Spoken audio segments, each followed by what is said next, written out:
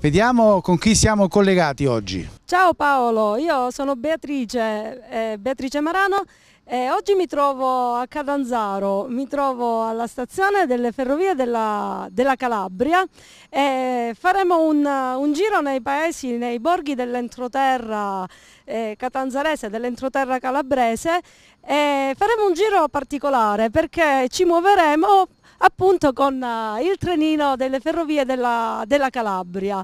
Il nostro percorso è diretto alla scoperta eh, di luoghi sconosciuti in parte, luoghi poco frequentati turisticamente, eh, luoghi che nella, proprio nell'obiettivo di questo itinerario vogliono essere valorizzati. Quindi da qui, da Catanzaro, da Rione Milano, un quartiere storico di Catanzaro, Storico perché è particolarmente interessante anche dal punto di vista architettonico e parte il nostro itinerario, quindi dal capoluogo di regione, Rione Milano per omaggiare gli abitanti della Lombardia che eh, mandarono degli aiuti a Catanzaro in seguito al terremoto. E quindi è un rione relativamente nuovo, interessante dal punto di vista architettonico per la presenza di begli edifici liberty. Eh, questa è anche la zona di Catanzaro, alle nostre spalle, eh, la zona cosi del cosiddetto Largo Baracche. È costruito dopo i vari terremoti, in particolare dopo il terremoto del 1783, per ospitare la popolazione che aveva subito appunto dei, la popolazione, le case, le cui case sono state distrutte dalla, dal terremoto. E allora, prima di partire, io volevo presentare e salutare... No, eh, allora Beatrice, ci prendiamo la oh. linea adesso, anche per eh, ricordare che da questo momento in poi eh, te la daremo definitivamente, quindi tu farai questo percorso veramente divertente, particolare, il trenino eh, da Catanzaro a Soveria avremo belle cose da vedere, poi ci saranno altri collegamenti nel corso delle altre trasmissioni, sempre eh, sul eh, Reventino, non vi do, ce l'ho già pronte, però non ve le do queste anteprime, queste sorprese. Vediamo invece Beatrice, che in questo momento sta prendendo il trenino, con chi, è, con chi farà questo percorso da Catanzaro a Soveria. Paolo, io oggi mi trovo con eh, l'amico Roberto Galati che è in rappresentanza dell'Associazione Ferrovie della Calabria. È un'associazione in Calabria, mi dice, è un'associazione che si occupa dello studio delle linee ferroviarie con particolare riferimento alle linee calabresi e al recupero delle vecchie linee ferroviarie e quindi eh, con la loro opera di promozione cercano anche di rivalutare questi percorsi in treni che mi auguro mm, piacciono anche ai telespettatori. Sono dei percorsi che generalmente gli abitanti dell'entroterra, della Presila, ehm, percorrono, scusami il gioco di parole, abitualmente per recarsi dai loro paesi nel, nel centro di Catanzaro, quindi per, per lavorare oppure per andare a fare le loro compere. Quindi sono abitualmente utilizzati questi trenini dalla, dagli abitanti del territorio e la nostra idea oggi è quella invece di invitare eh, i calabresi e non solo a visitare la Calabria appunto con, con questo mezzo. E passo la linea a Roberto che ci racconterà un po' di più di questa sua esperienza in associazione. Ben ritrovate a Beatrice e un saluto al mitico Paolo. Grazie intanto per la presentazione che hai fatto benissimo e hai detto, hai detto praticamente tutto, si può dire. E noi appunto ci occupiamo della valorizzazione delle linee ferroviarie in tutto il territorio calabrese, eh, sia le linee di ferrovie della Calabria, dove ora ci troviamo, e sia le linee di rete ferroviaria italiana, dove circolano appunto i treni, diciamo, i servizi di Trenitalia. Noi oggi siamo qui ed è un onore per noi accompagnarvi su questo itinerario da Catanzaro a Soveria Mannelli, sono 40 km di linea e appunto percorreremo una delle tratte ferroviarie più belle probabilmente d'Europa anche, non solo d'Italia, che oltre a, diciamo, alla valenza turistica e paesaggistica anche ha una grandissima importanza a livello di mobilità per, come trasporto pubblico locale perché appunto la tratta Catanzaro-Soveria Mannelli non ha una, diciamo, una viabilità stradale alternativa che eh, possa avere diciamo, gli stessi tempi di percorrenza a livello stradale della ferrovia e poi soprattutto non dimentichiamo l'importanza nei periodi diciamo, invernali più freddi della ferrovia in aree dove appunto diciamo, abbiamo intemperie che possono provocare gravissimi disagi lungo la viabilità stradale appunto. Quindi l'importanza di questa ferrovia è proprio questa, sia per il trasporto pubblico locale sia per appunto gli itinerari turistici paesaggistici come quello che stiamo percorrendo oggi.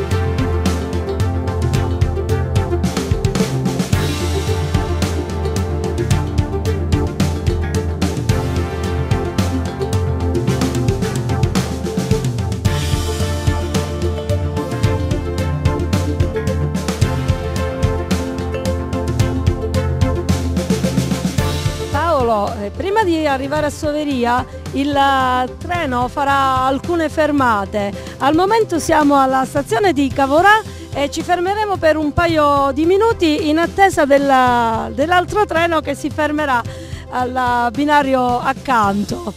Il divertimento è anche questo, fermarsi nelle varie stazioni, guardare il, il paesaggio eh, un attimo di relax e di pausa per poi ripartire.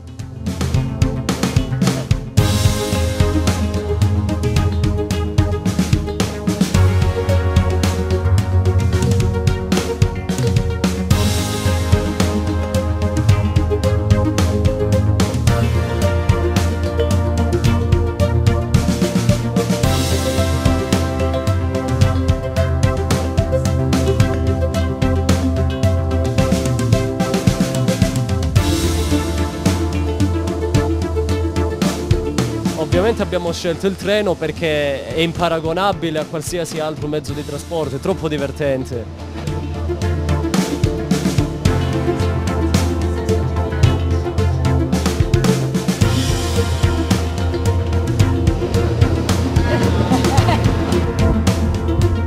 Guarda che meraviglia Paolo, guarda queste vallate, le montagne, queste gole profonde.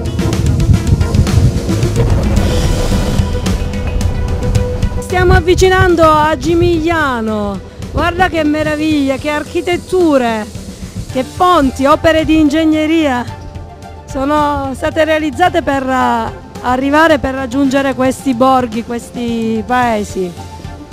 Eccola lì Gimigliano, due, divisa in, idealmente in, in due parti. La parte bassa del paese a circa 500 metri e la parte alta del paese a circa 600 metri. Gimigliano, nei racconti di uno, di uno scrittore, una, un libro che parla della, della sua terra, figlio di, un, di emigrati, quindi un, un calabrese d'America potrei dire. In questo libro si parla della, della, sua vita, delle sue radici e questo scrittore arriva a Gimigliano proprio per cercare le sue radici, nella sua famiglia, nella, in ciò che la tradizione della sua famiglia ha lasciato nella, nel suo essere. Ed eccoci, questa è la stazione di Gimigliano, collegata poi da un percorso pedonale fino a su alla parte alta della, del paese. Noi ci fermeremo più avanti ci fermeremo alla stazione di Porto.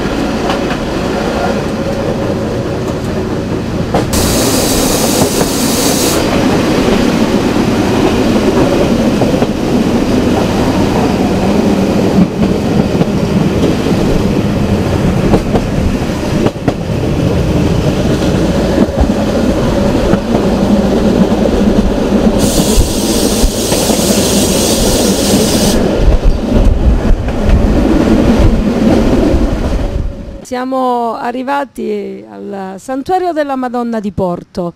Siamo partiti da Catanzaro alle 9.40, sono le 10.15 e siamo già arrivati in brevissimo tempo. Ripartiremo alle 11.35 per proseguire per decollatura e per Soveria Mannelli. Andiamo!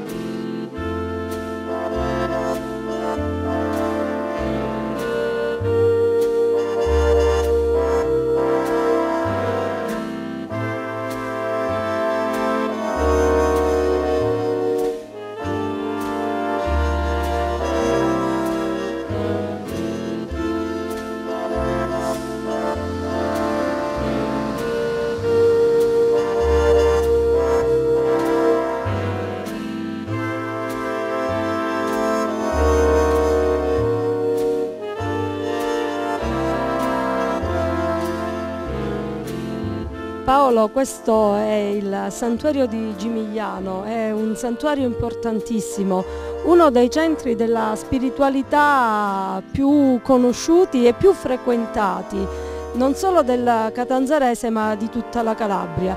Questo santuario è stato inserito nel 2000 nel, nei santuari mariani giubilari. Ogni anno in occasione di due importantissimi pellegrinaggi qui a Madonna di Porto vengono addirittura effettuati da Ferrovie della Calabria alcuni treni speciali eh, proprio da Catanzaro città e da Soveria Mannelli per portare appunto i pellegrini qui in stazione a Madonna di Porto che è a due passi dal santuario. E in un caso che il 25 aprile vengono anche effettuati appunto dei treni in giorno festivo, quando normalmente le ferrovie della Calabria non sono attive nei, nei giorni festivi.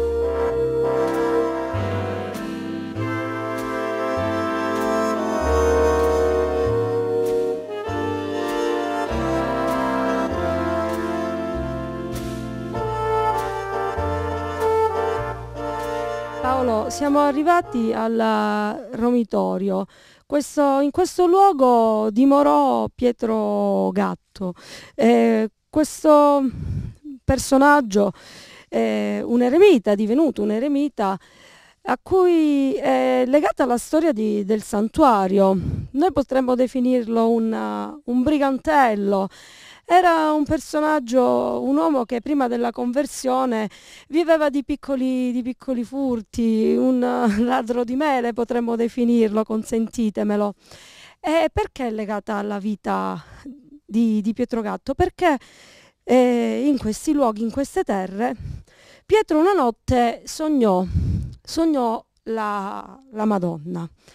La Madonna gli chiese di eh, costruire una cona, quindi una piccola grotta, un piccolo altare. E chiese a Pietro di collocare all'interno della cona un'immagine, l'immagine della Madonna, una copia dell'immagine della Madonna che attualmente è conservata nella chiesa a Gimigliano. Nessuno credette ovviamente a Pietro Gratto nel momento in cui chiese aiuto per realizzare questo piccolo altare. Ma la Madonna nel sogno aveva anche rivelato il luogo dove avrebbe potuto trovare della calce per realizzare questa piccola opera. E Pietro Gatto così fece, si recò e trovò la calce ancora calda. Non avendo collaborazione, da solo costruì eh, la cona. Quindi il segno della presenza della Madonna in questo luogo ma il segno ancora più tangibile della presenza del divino operato attraverso la conversione di Pietro Gatto. Ora visiteremo questo, questo, luogo sacro, quindi questo è un luogo, prima di tutto un luogo di, di preghiera.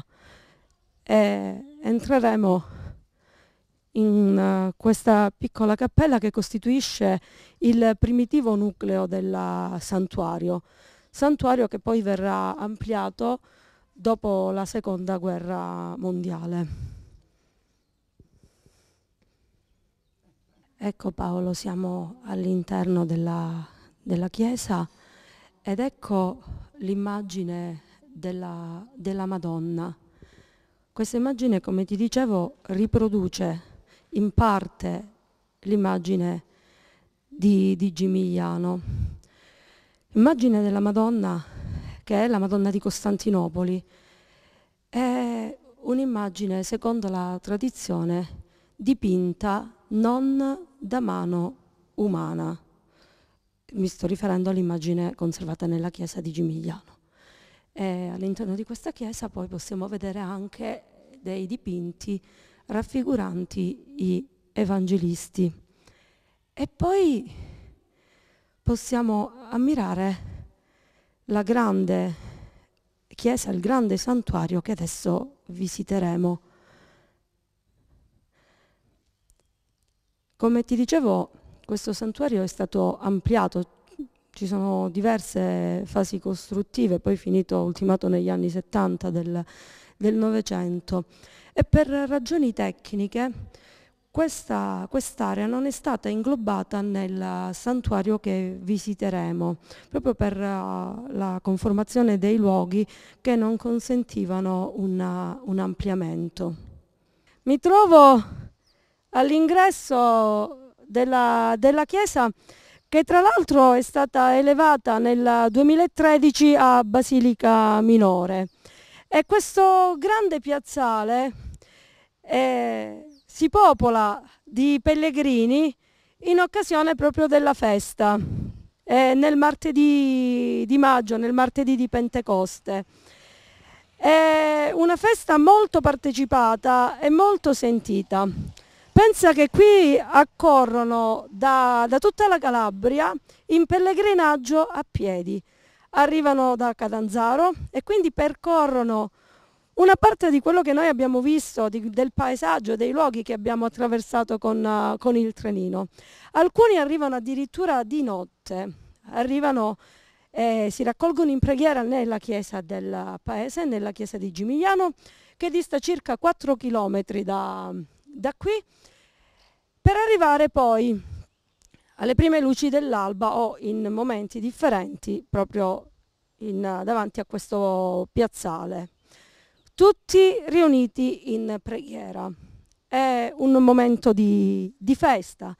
Nel momento in cui arriva la sacra immagine che viene portata dalla chiesa di Gimigliano qui, c'è una, una grande festa, i fuochi d'artificio, quindi una parte di, del momento eh, civile, il sacro che è, il profano ma soprattutto il, il sacro, nel significato profondo della veglia di preghiera nella notte precedente nel grande momento di raccoglimento qui in, uh, in questo luogo. E poi un incontro, un incontro significativo. E a confronta, consentimi, questo incontro fra la Madonna e San Giuseppe, incontro che poi si ripeterà al ritorno a Gimigliano e questo è il momento più significativo. Tra l'altro la tradizione della veglia e quindi momenti che legano la nostra Chiesa alla, al rito greco, a questa Chiesa d'Oriente che ha segnato eh, profondamente il nostro modo di, di essere.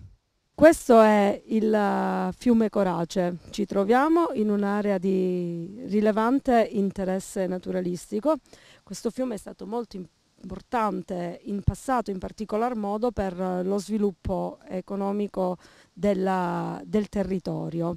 Qui ci sono le trote, eh, il fiume Corace che secondo alcuni eh, il nome dice fiume dei corvi, secondo alcuni.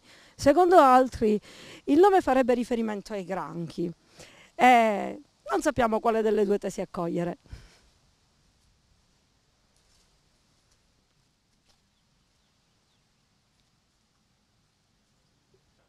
attraversiamo la Porta Santa per entrare all'interno del santuario.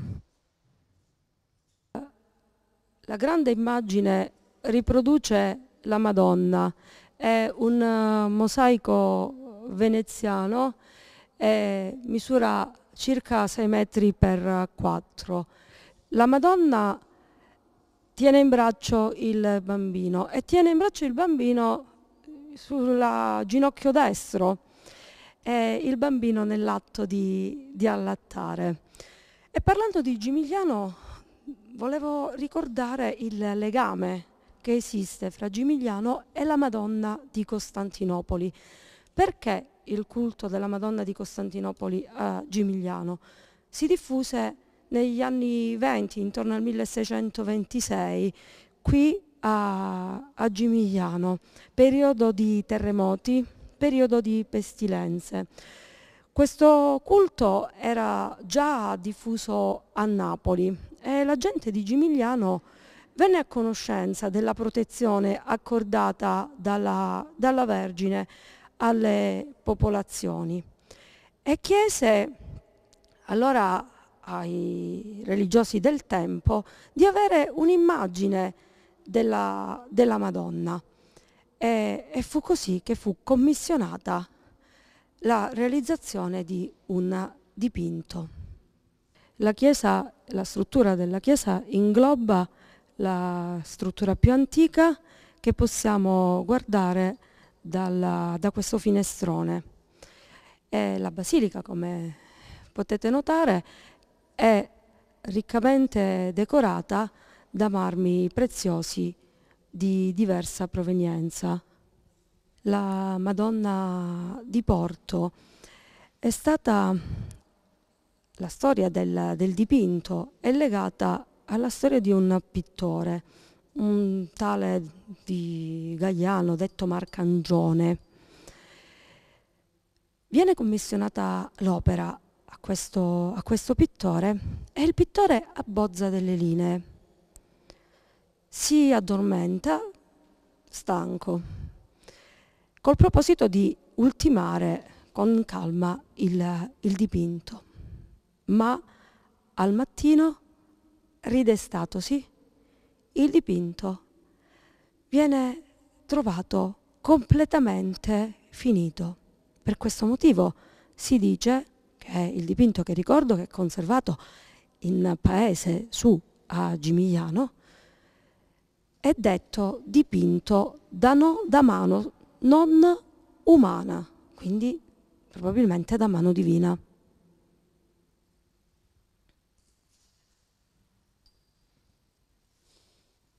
Vi dicevo si svolge una processione molto partecipata. Le origini possono essere ricondotte alla, ai primi dell'Ottocento, durante il periodo francese. In, si racconta che il comandante delle truppe francesi portò via proprio da Gimigliano il quadro della, della Madonna e avvolse la tela e nascose la tela in, in un armadio. Di notte però fu svegliato. Fu svegliato da un bagliore improvviso e lì, eh, ridestatosi, capì che c'era qualcosa di, di forte, un segno divino. Decise quindi di restituire, di riportare indietro il quadro, che fu poi accompagnato da numerose genti. E quindi, secondo alcuni, è questa proprio l'origine del pellegrinaggio. Alle mie spalle vedete un'area picnic, un'area attrezzata. Qui quindi è possibile non solo partecipare alle funzioni religiose, ma trascorrere in serenità e in, in famiglia una, una, domenica o un'altra, un'altra giornata. Gimigliano. Gimigliano significa terra dalle, dagli alberi, dalle coltivazioni meglio di, di alberi, terra in cui fioriscono e fruttificano alberi da frutto, secondo alcuni. Secondo altri il nome può essere corre correlato a gemelli e potrebbe anche essere un riferimento, ma potrebbe, un'ipotesi, al fatto che appunto Gimigliano è divisa fra, in, due, in, due, parti, la parte bassa e la parte, e la parte alta. Prima di lasciare questa stazione e di dirigerci verso decollatura, volevo eh, ricordare che La Madonna, la Vergine che abbiamo visto, è una Madonna odigitria, ossia una Madonna che indica il cammino, guida della via e quindi mi auguro che possa guidare il nostro, il nostro cammino. Adesso aspettiamo il treno e la prossima fermata è San Bernardo Decollatura.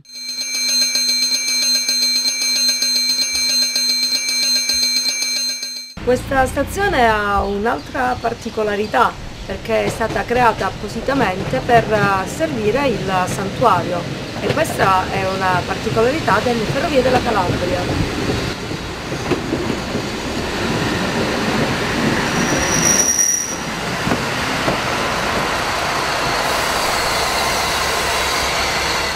Vi racconto adesso di, del viaggio di un eh, personaggio eh, di Gimigliano, un personaggio che visse nel, 500, un personaggio un po' eh, strano, forse un mago, forse un alchimista.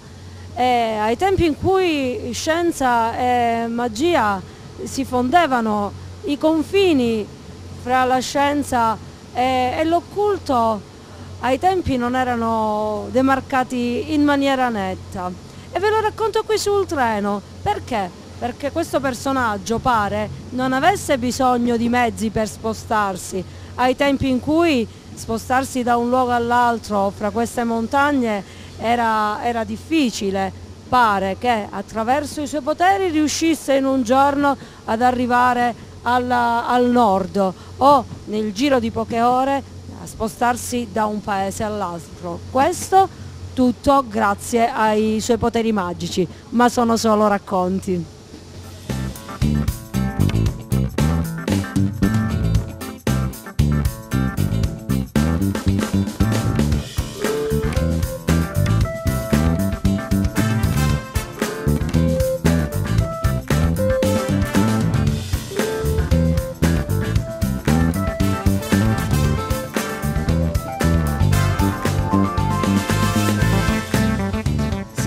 Serra Stretta, Serra Stretta Carlopoli, la eh, stazione che serve questi due paesi. Serra Stretta significa stretta fra due monti, Serra significa montagna. Questo è un luogo molto interessante perché proprio in questo punto, in prossimità della stazione, i due fiumi che attraversano questi luoghi, che sono il Corace e l'Amato corrono paralleli e si avvicinano a circa un chilometro per poi proseguire il loro cammino distanziandosi a circa tre chilometri. Serra Stretta è un borgo famoso anche per la lavorazione, per l'artigianato. In passato e anche oggi eh, ma in particolar modo in passato si lavoravano e si producevano artigianalmente le, le sedie, i seggiari, la tradizione, eh, le sedie impagliate. Eh, famose erano le sedie dette 13 bis perché realizzate in uh, più parti, in 13 parti. Ed è importante ricordare l'artigianato in, uh, in, questi luoghi perché con, uh, attraverso queste attività eh, potevano, traevano da queste attività sostentamento eh, numerose famiglie. E importantissimo era il ruolo della donna nella lavorazione delle, delle sedie. Alla donna veniva affidata eh, la lavorazione della seduta, che, della parte impagliata appunto, che veniva realizzata con, fra virgolette, dei giunchi raccolti nelle zone fra virgolette paludose, nelle zone, nelle zone umide. Quindi era un'attività che potremmo definire oggi usando un termine moderno, un'impresa familiare. La donna si poteva dedicare e alla cura della casa e della famiglia e contribuire proprio con il suo lavoro alla lavorazione artigiana delle, delle sedie.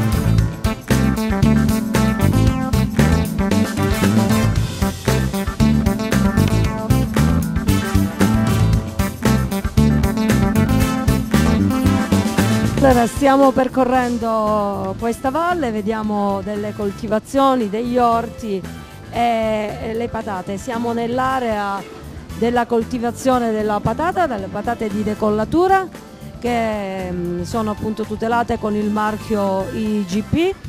E, diciamo tutta l'area silana è mm, importantissima per la produzione delle, delle, patate che vengono commercializzate non solo in Calabria ma anche al di fuori dei confini della nostra regione. Perché sono eh, famose e si differenziano dalle altre coltivazioni?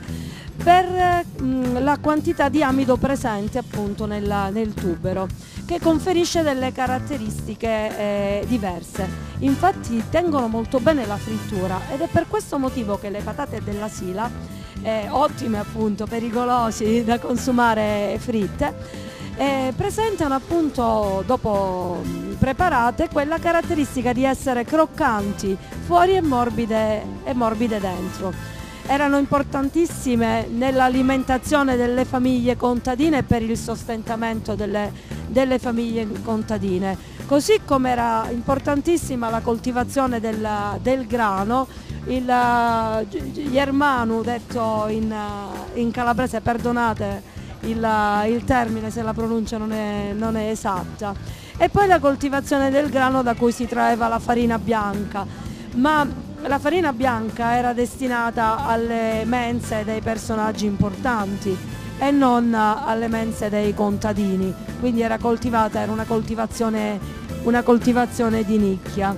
Splendida questa vallata fra, fra le montagne, siamo nell'area del Reventino, in generale Tiriolo, Reventino e Mancuso, area di grande importanza naturalistica.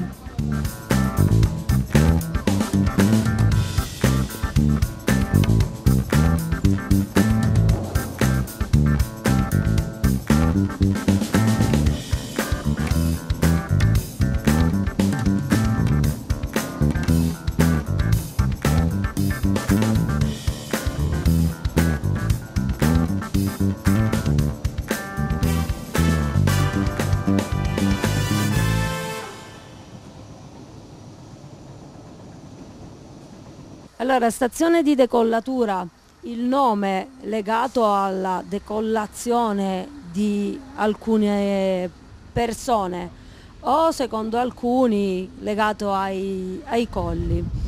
Quest'area, vi dicevo, di grande importanza naturalistica, di grandi coltivazioni, il cui sviluppo è stato determinato dalla presenza dei, dei fiumi, quindi dall'approvvigionamento idrico. Tra l'altro in principio si sviluppano di più le zone collinari perché le aree attraversate dai fiumi erano delle aree eh, spesso interessate dalla piena dei fiumi perché il corso non era regimentato e quindi solo quando interviene l'uomo e quando comunque nei secoli cambia la portata fluviale queste aree vengono adibite a coltivazioni.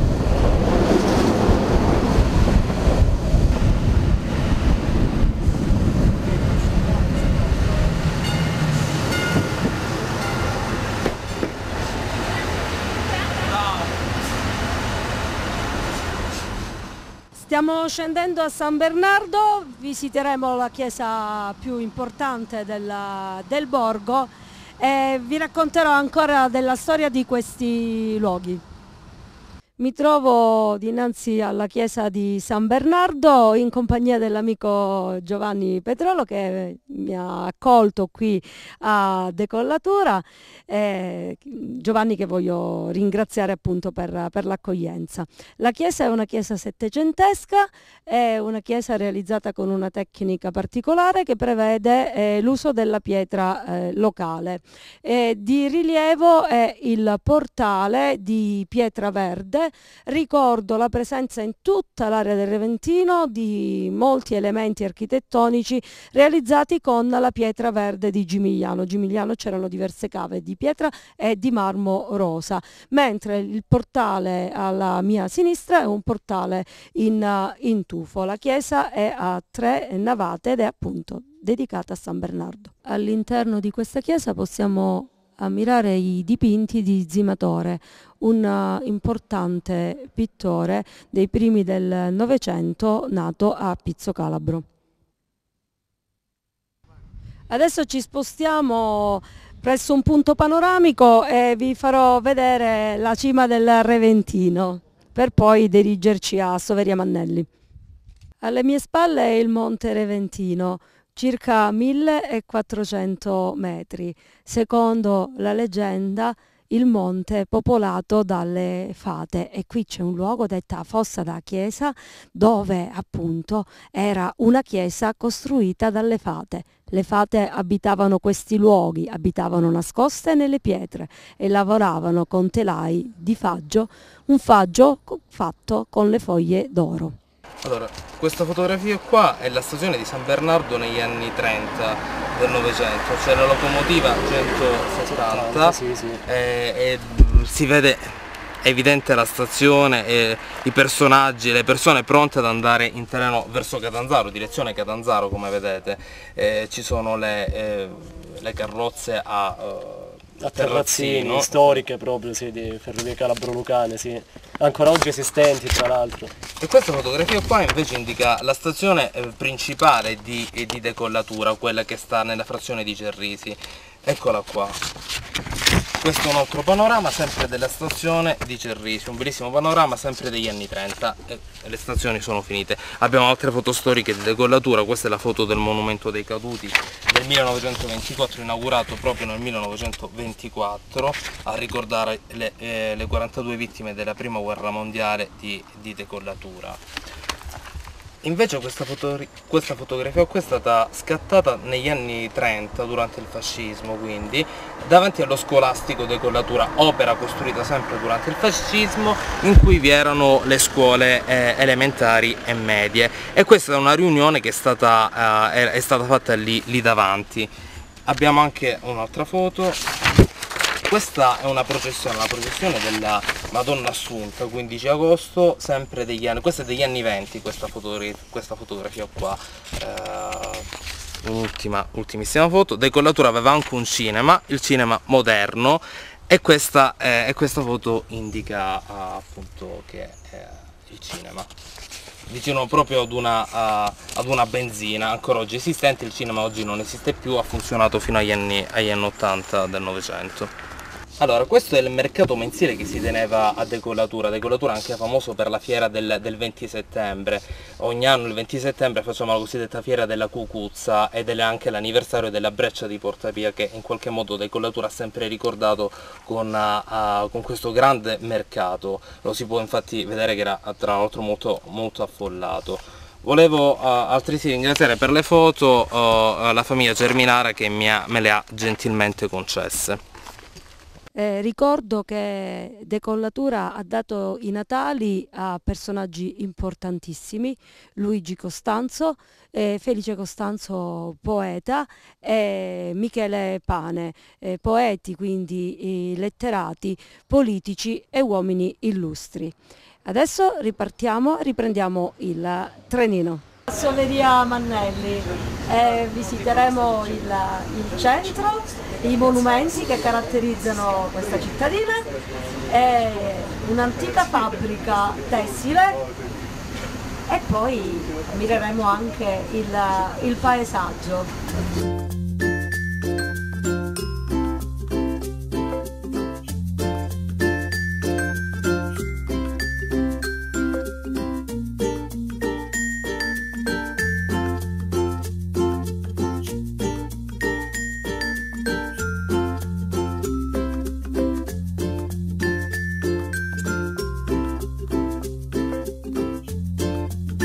Questo come vedi è un piccolo carrellino minerario che veniva utilizzato quando sono state costruite le linee delle Calabrulucane. Nello specifico si utilizzavano per scavare le gallerie che oggi appunto esistono lungo la tratta ferroviaria, mentre questi qui sono i classici carrellini dei cantonieri utilizzati per la manutenzione delle strade ferrate. Oggi sono ovviamente in disuso, però sono dei pezzi ormai d'antiquariato.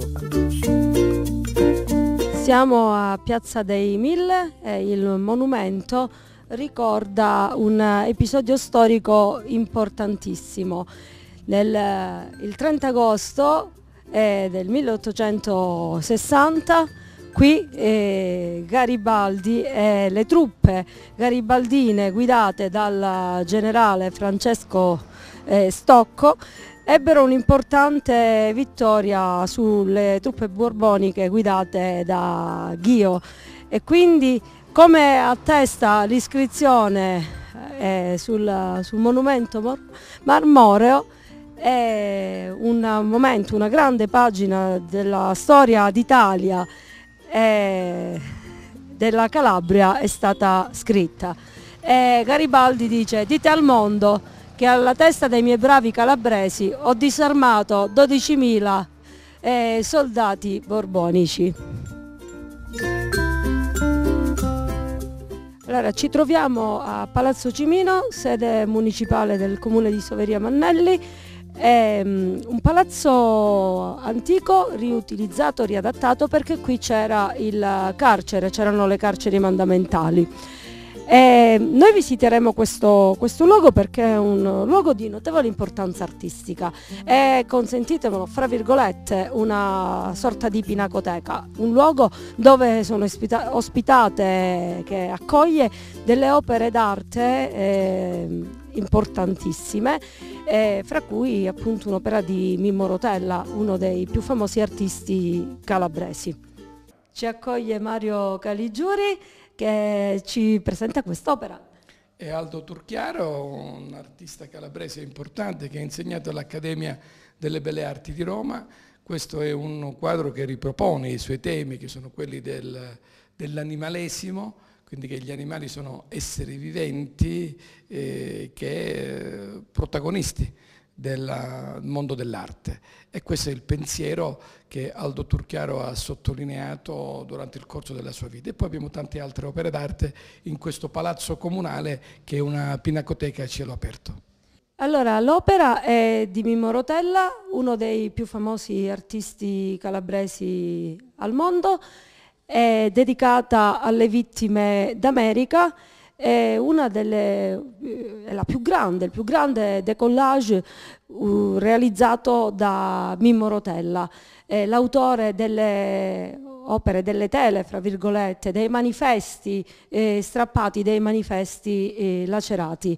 Il, il, calabrese che eh, appunto ha realizzato queste, queste opere prendendo i manifesti e quindi da, muovendo dalla quotidianità e dalla contemporaneità. Siamo all'interno della sala consiliare, è una sala interessantissima dal punto di vista artistico. Eh, questa è l'opera di Dolores Pudot eh, dal titolo Libertà vo cercando. Queste, queste figure quella, la tensione delle figure emerge, eh, al, salta all'occhio dell'osservatore. Eh, una zona priva quasi di prospettiva, ma il nostro occhio è attratto dal movimento, dalla linea, dal modo di trattare il colore eh, da, operato dalla, dalla pittrice. Eh, dottor Caligiuri sicuramente saprà aggiungere tanto su quest'opera alla fine degli anni 90 abbiamo inteso fare affrescare, come nel Rinascimento, il luogo simbolo del comune e del palazzo municipale, che è l'aula consiliare. Sono cento figure, una diversa dall'altra, realizzate dalla scenografa della Scala Dolores Putò, una delle più importanti pittrici italiane viventi, e che eh, ha cercato di esprimere il concetto della libertà. Infatti sono delle figure che cercano di divincolarsi dalle catene perché, per liberarsi dal bisogno, perché l'unica vera libertà è quella della libertà dal bisogno. E quest'aula si chiama Sala della Libertà. Abbiamo poi isolato un frammento di questa sala e l'abbiamo poi riprodotta in eh, una pubblicazione che abbiamo poi inviato a tutte le famiglie di Soveria in modo tale che ogni famiglia possa avere un pezzo di quest'opera d'arte. Potremmo aggiungere allora in questo caso che questa sala può essere in senso lato un omaggio all'articolo 3 della nostra Costituzione, al secondo comma, all'eguaglianza sostanziale intesa come libertà dal bisogno? Anche questo, ma anche a tanti altri concetti, l'articolo 21 che è il diritto di espressione, alla, agli articoli che salvaguardano il, la cultura, il paesaggio, la bellezza. E credo che un comune eh, debba promuovere eh, all'interno della propria cittadinanza questi concetti, soprattutto dopo che in tutta Italia, dopo la seconda guerra mondiale, abbiamo avuto il trionfo dell'orrido. Noi siamo partiti da Catanzaro, siamo partiti con il trenino delle ferrovie della Calabria, ci siamo fermati al santuario della Madonna di Porto a Gimigliano, ci siamo fermati a Decollatura nella stazione di San Bernardo e chiuderemo il nostro percorso turistico con uh, Soveria Mannelli. È un percorso a nostro giudizio diretto a valorizzare l'entroterra calabrese e in particolare questi luoghi di montagna che a mio modestissimo giudizio hanno un fascino indescrivibile e mi piacerebbe conoscere la sua opinione. Sono d'accordo, senza dubbio viviamo in territori affascinanti, io direi che avete centrato una delle poche risorse che abbiamo nell'entroterra montano del Reventino, così come in altre aree interne della Calabria. Assolutamente il paesaggio, la natura e poi associate anche alle tradizioni locali, alle culture locali, sono delle risorse da valorizzare eh, assolutamente. Quindi il percorso che avete fatto è un percorso straordinario, avete preso poi la, la, la ferrovia delle Calabro-Lucani, che è veramente, oserei dire, pittoresca, eh, si immerge in un paesaggio straordinario eh, di verde, di rigogliosità della natura straordinario, per cui sì, sono d'accordo con quello che avete fatto. Chiudere Assoveria per noi è un fatto che ci riempie d'orgoglio, questa piccola comunità che si è distinta in tutti gli anni per essere stato un comune all'avanguardia tra i comuni calabresi, eh, ha chiuso secondo me egregiamente il vostro tour. Ci troviamo all'anificio Leo, una delle fabbriche più antiche della Calabria. Nasce a fine Ottocento, in origine si trovava nel territorio di Carlopoli Castagna, poi spostata qui a Soveria Mannelli. È una fabbrica museo, una fabbrica che conserva ancora le vecchie macchine utilizzate per la lavorazione dei, dei tessuti. Una fabbrica che ha saputo oh, innovarsi e rinnovarsi e quindi costituisce un perfetto connubio fra tradizione ed innovazione. Con le antiche macchine vengono realizzati dei, dei filati, dei, dei tessuti a cui viene applicata invece una tecnologia modernissima, quindi la fabbrica museo. Ti presento Emilio Leo, l'architetto Emilio Leo, che rappresenta in questo momento la quarta generazione della famiglia Leo. E suo papà, se non erro, è novantenne. Sì, papà diciamo, è colui che in realtà ha mantenuto in vita l'impianto nella sua fase di transizione diciamo, dalla fine degli anni 80 alla fine degli anni 90 quando poi in realtà sono arrivato io e ho cominciato questo progetto di eh, ricucitura tra patrimonio industriale e nuova idea di impresa. C'è una frase molto bella che ho sentito pronunciare in occasione delle mie visite in, in questo luogo, che io riassumo così, perché per fare non bisogna necessariamente partire e andare, è una frase molto bella che invita eh, i calabresi, noi, noi, giovani, a riscoprire le nostre tradizioni e a portarle, a portarle avanti, sicuramente con molto impegno e con tanta fatica. Ma secondo me questo è un po' il segreto di questo momento storico, cioè la Calabria è sempre stata dipinta come una terra in cui non è possibile fare nulla, da cui bisogna scappare perché altrove è tutto possibile abbiamo tanti problemi ma in realtà abbiamo tante risorse e le dobbiamo cercare dentro di noi, accanto a noi, vicino a noi. Questa storia rappresenta nel suo piccolo questa possibilità, da ferraglia dell'Ottocento a patrimonio industriale, al luogo in cui tradizione e innovazione si incontrano e da Soveria Mannelli, che potrebbe sembrare periferia della periferia, E il Lanificio Leo oggi è un brand di vocazione internazionale, sempre molto piccolo, sostenibile e compatibile con la nostra dimensione culturale e imprenditoriale ma che collega un posto del meridione a un contesto molto più largo che quello del mondo. Allora, adesso l'architetto Leo ci illustrerà, ci spiegherà la funzione di questa, di questa macchina. Beh, diciamo che il viaggio della, della lana o comunque delle fibre è abbastanza lungo. A un certo punto dal fiocco si arriva al filo e con il filo bisogna organizzare un ordito che è la base verticale per la produzione di un tessuto. Questo è un orditoio a sezione in cui la complessità di migliaia di fili viene organizzata e ordinata perché senza questo tipo di, di apporto e di precisione nessun tessuto potrebbe essere fatto.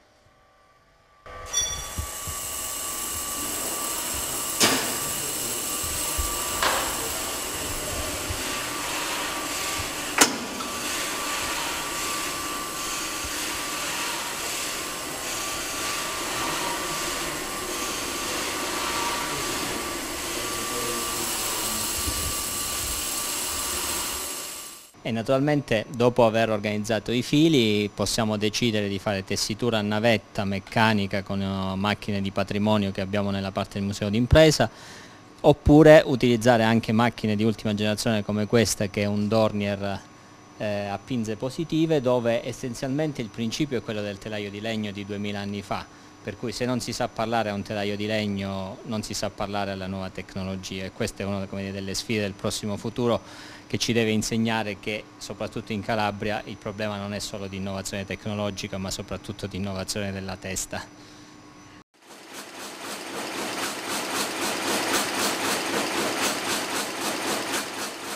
Siamo a Piazza Bonini, questo è il monumento dal titolo Memoria del futuro. Il monumento è di Plessi, noto come la casa cadente. E volevo salutare Roberto ringraziarlo per la preziosissima collaborazione nell'organizzazione del tour con le ferrovie della Calabria, un, un, amico che pur non essendo guida oggi mi ha, mi ha supportato soprattutto nella parte tecnica relativa alle, alle ferrovie. E io saluto i telespettatori e vi invito a ripetere il percorso perché è fattibile tutti i giorni della, della settimana e magari magari facendovi accompagnare da una guida. Io sono Beatrice Marano e il mio telefono è 389 58 34 309 e il mio sito è www.guidaturisticaincalabria.it. Grazie.